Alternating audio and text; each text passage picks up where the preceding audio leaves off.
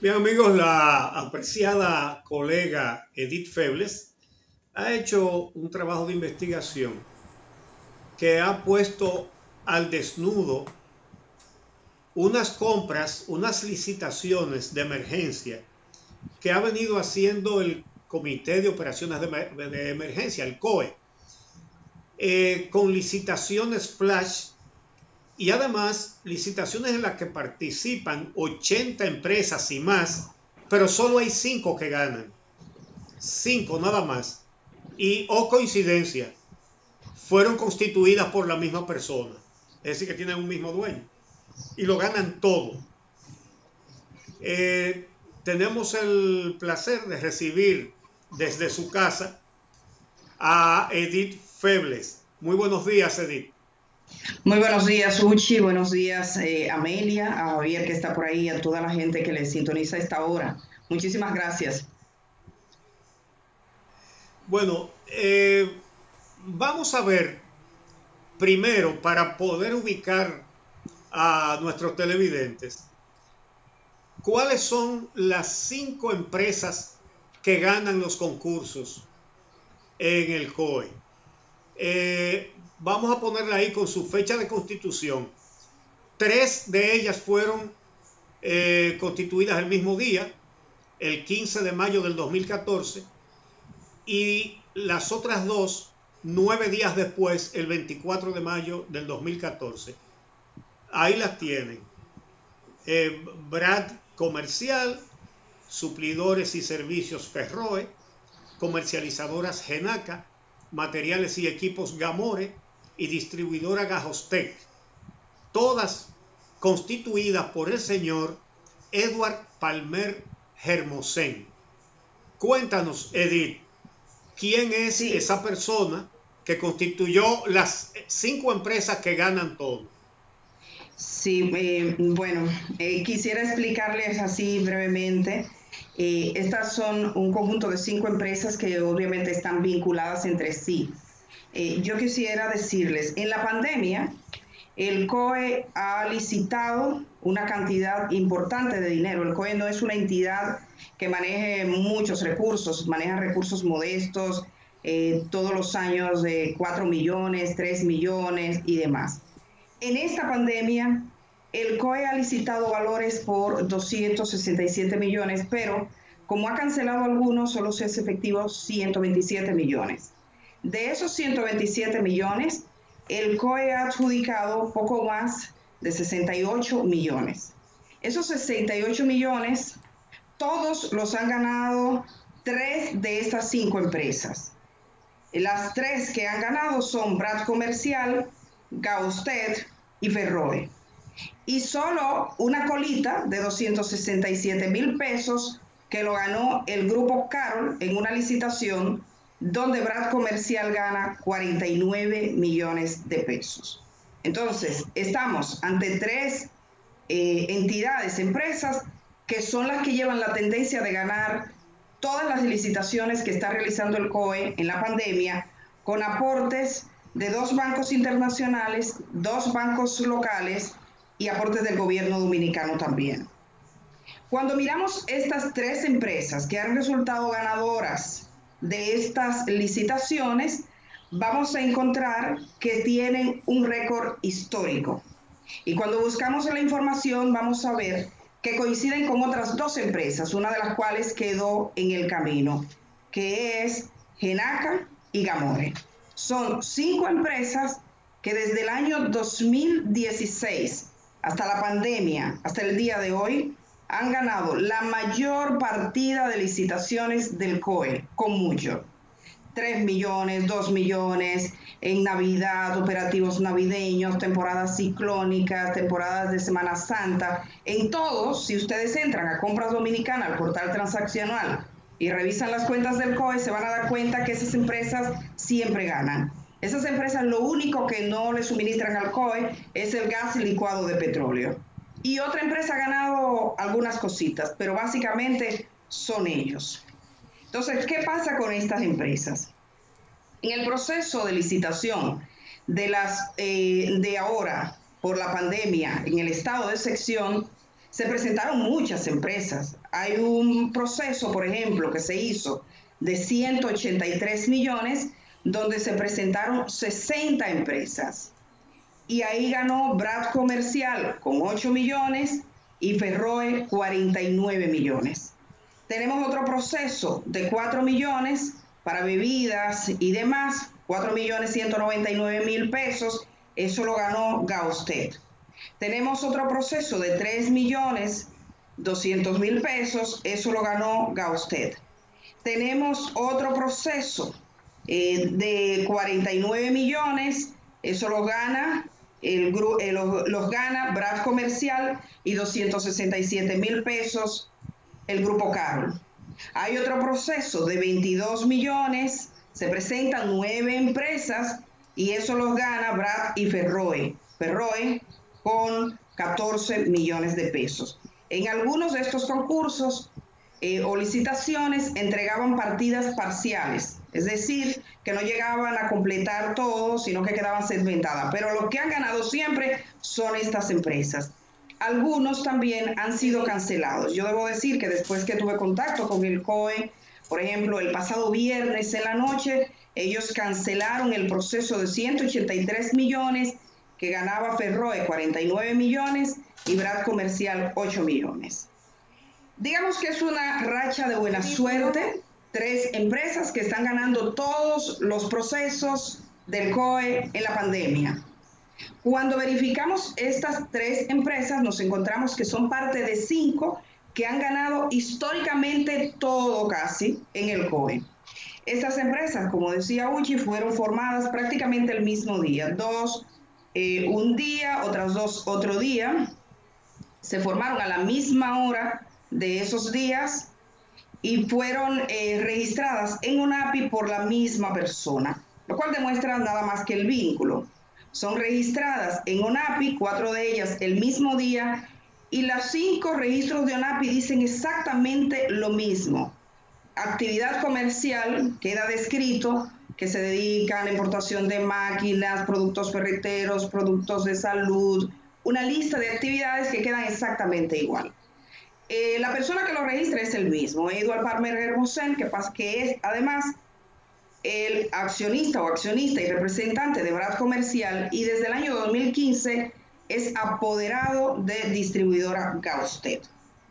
Otra característica coincidente en estas empresas, yo visité cuatro de los locales de las cinco, es que en tres de ellas no había absolutamente nada, por ejemplo en la Martín, número 328, donde se, donde se supone opera Gausted, que es una empresa que ha sido favorecida con contratos millonarios ahora, lo que hay es una empresa de arreglar lavadoras y el dueño me dijo, aquí no hay nada de eso.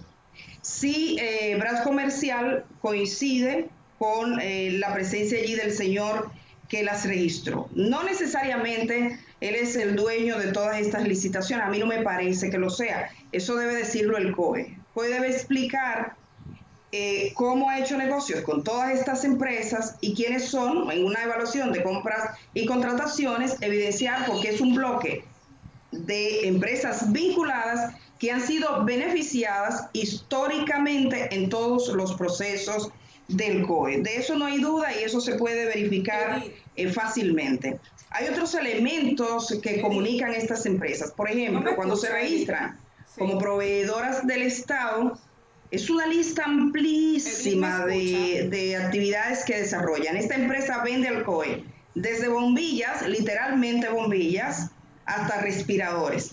Están en capacidad de vender porque venden absolutamente de todo.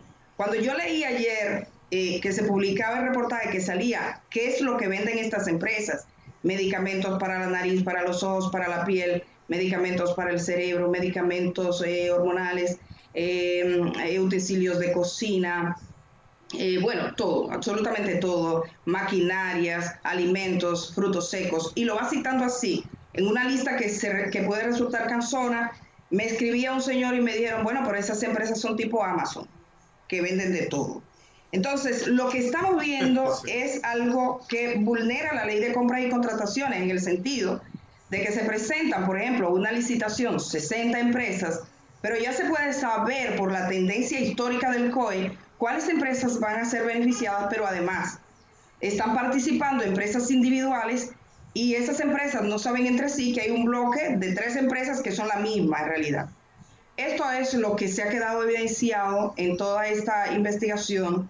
El COE inicialmente dijo que, iba, que iban a hablar, no hablamos con la profundidad de lo que teníamos en el histórico, pero sí se sabía que era de estos procesos de compra en los cuales ya el COE ha tenido que proceder a cancelar al menos dos de los procesos y ellos mismos dicen que han faltado en esos procesos a la publicidad, a la divulgación, en algunos casos a ofrecer la documentación necesaria a todas las empresas para ponerlas en igualdad de condiciones y que por lo tanto vulneran la ley de compras y contrataciones públicas. En el día de ayer, al tiempo que salía este reportaje, el COE estaba anunciando un nuevo proceso de 123 millones de pesos y uno de 666 mil pesos. La pregunta es si se seguirá con esos procesos donde tenemos un proceso que en tres minutos se decide, en cuatro minutos, se decide a favor de una empresa histórica y si todos los procesos van a seguir teniendo las características que hemos visto históricamente en ese organismo. Eh, vamos a ver eh, este full. Sí, perfectamente. Estoy eh, tratando. Sí, ah, que, yo quisiera. Sí. Uchi, adelante. Sí, ok, vamos, vamos a ver este full, ¿verdad? Para que ustedes vean la velocidad de este proceso de licitación. Eh, ahí lo tienen. A las 4 y 49 de la tarde, apertura de ofertas. Y en un minuto, a las 4 y 50, evaluación de ofertas. ¿Qué tiempo tomó la evaluación de ofertas? Dos minutos, porque a las 4 y 52 se pasó al siguiente paso, que es notificación de errores u omisiones. Le tomó un minuto ver que no había ni errores ni, ni omisiones y a las 4 y 53 adjudicación de la compra a Brad Comercial SRL. Cuatro minutos en total. Entonces. Efectivamente, eh, yo debo decir de ese proceso UCHI que es un proceso en cuatro minutos por 49 millones se le otorga a Brad Comercial y al Grupo Carol, que es la única con esa colita de 267 mil pesos en todo este proceso, que el COE, cuando estuve conversando con sus autoridades, me remitieron una resolución que cancelaba este proceso. Pero si vamos a la página transaccional de compras dominicanas, este proceso sigue vigente. O sea, dice proceso celebrado y adjudicado. Quiere decir que en términos de compras y contrataciones desde el portal del Estado, este proceso por 49 millones, Brad Comercial y el Grupo Caro 267 mil pesos, sigue vigente se realizó en cuatro minutos, lo cual contraviene postulados que el mismo gobierno ha hablado ahora en la pandemia porque se realizaron este tipo de procesos veloces y dijeron, no, esto debe tener un plazo mínimo. Edith, eh, me gustaría preguntarte, ya que hablabas de la razón social de estas empresas, eh, al hacer el análisis del histórico de ventas de, esta, de estas empresas Alcoe, ¿Qué tipo de insumos eh, le entregabas? Decías que lo menos, lo que, lo único que no le suplían era el, el GLP el combustible. Pero me gustaría saber si incluso eh, cada una de ellas está dedicada a una actividad específica o le ha suplido un tipo de insumo específico al COE o todas hacen de todo. Y si eh, hablabas también de la cantidad de recursos es ahora cuando el COE licita con mayor cantidad de recursos, pero los otros, eh, los otros concursos que pudiste identificar, ¿de cuánto dinero estamos hablando para que podamos tener una idea? Bueno, estas empresas eh, desde el año 2016 hasta la fecha han recibido contratos por poco más de 100 millones, lo que yo he identificado. Es decir, yo he revisado 60 contratos desde el 2016. Las características para la revisión de los contratos fue que pasaran del millón de pesos. Hay compras menores de 900 mil pesos, de 800 mil, donde yo vi que algunas de ellas habían resultado favorecidas, pero yo no me detuve a ver ya lo, las compras menores, sino que en compras mayores han sido beneficiadas de más eh, de 100 millones de pesos. Estas empresas eh, suplen de todo, tienen la capacidad de suplir absolutamente de todo, pero es obvio a lo largo de estos años que la empresa Gausted suministra siempre todo lo que es alimentos y bebidas, alimentos y bebidas para el personal, alimentos y bebidas para los operativos, o esta vez alimentos y bebidas para las personas afectadas por la pandemia. No obstante, también se le puede encontrar suministrando otro tipo de artículos.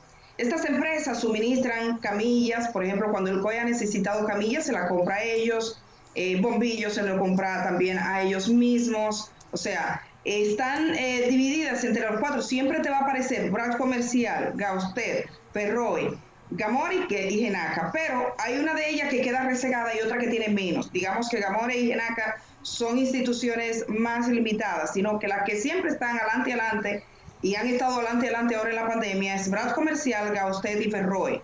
Estas empresas eh, suministraron, por ejemplo, en, lo, en el huracán Isaac, en las temporadas ciclónicas, cuando vienen las temporadas ciclónicas. Pero yo vuelvo y repito, el COE hasta este momento ha tenido compras muy modestas, porque no es un órgano que maneje muchos recursos.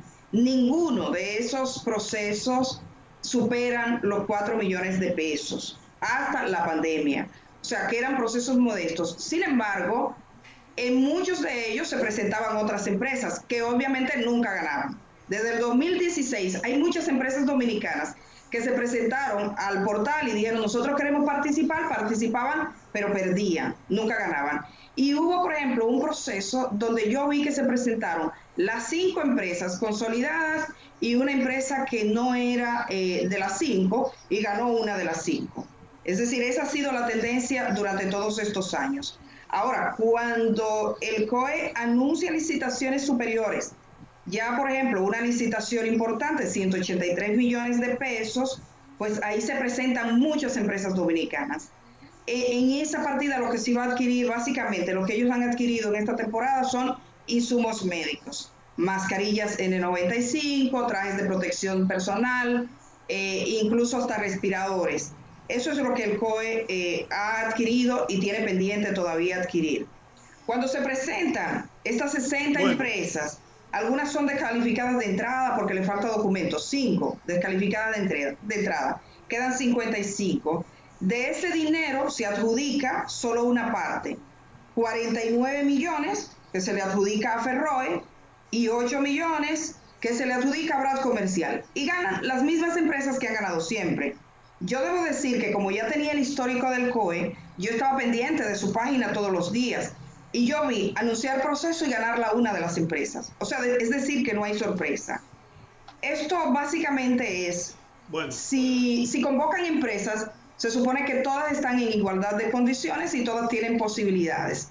De haber seguido la tendencia y probablemente de no decirse esto, supongo que en casi todos los procesos siguientes la tendencia se mantendría. Y eso es obviamente irregular, lo que ha pasado hasta ahora no puede ser y me parece que amerita una investigación dentro de compras y contrataciones del Estado y el mismo COE que tiene la posibilidad de explicar cómo fue que desde el año 2016 estas empresas consolidadas porque tienen vínculos sin lugar a dudas eh, resultaron siempre ganadoras. Edith, eh, te agradecemos mucho. Yo quiero decir un par de cosas. Primero, que pueden ver ese trabajo completo en la página de YouTube de Edith, Edith Febles, La Cosa Como Es. Y quiero señalar que eso lo investigó Edith Febles ella solita, sin más nadie.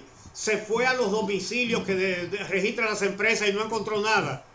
Una empresa que vende, le hace una venta de 49 millones y medio a un organismo oficial, debe tener un edificio de varios pisos, ¿verdad? No, no hay. Ella sola investigó todo. La Procuraduría General de la República y el PEPCA, con centenares de fiscales, toda la fuerza pública, acceso legal a todo, hay que responderle lo que pregunte, no investiga. Entonces estas cosas solo pueden suceder en una situación de impunidad absoluta. Entonces, para mantener estos negocios, funcionarios que se han hecho multimega millonarios desde que ingresaron al poder, que antes no eran eh, tan ricos, ¿verdad? Ahora tienen la urgencia para mantener eso, tienen la urgencia de regalarte cosas. Una cajita de comida, esto, aquello, lo demás para allá, mascarilla, esto y lo otro. Realmente quieren coger a la gente de buena gente con P. Cada uno sabrá lo que hará. Es urgente acabar con la corrupción, con la impunidad y además, y sí, está bien, pausa, y con la corrupción, con la impunidad y por eso se necesita justicia independiente. Vamos a hacer la pausa y regresamos.